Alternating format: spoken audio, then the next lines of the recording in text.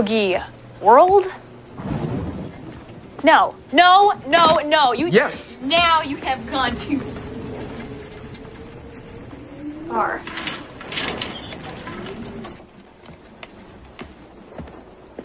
Okay, you know, I refuse to believe in some invisible place called the Boogie World. Come on, Fran. You believe in the boogeyman, don't you?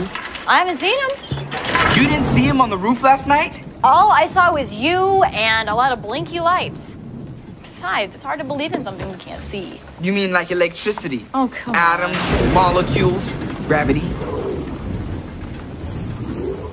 Okay, okay. If there was a Boogie World, how do we get into it? We don't. This job is for a professional. Look, I am not going to sit up here and do nothing, okay?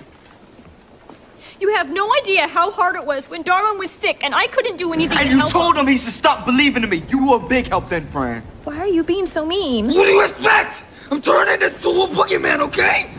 Okay, Francis?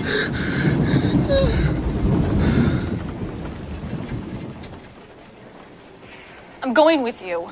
Fran, what if I boogie down the rest of the way while you're in there? You may get trapped in Boogie World just like Darwin. I'm not worried about what happens to me. I am. Okay, I am.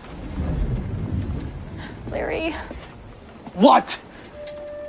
what you said about me being relieved when I couldn't be a donor. It's true.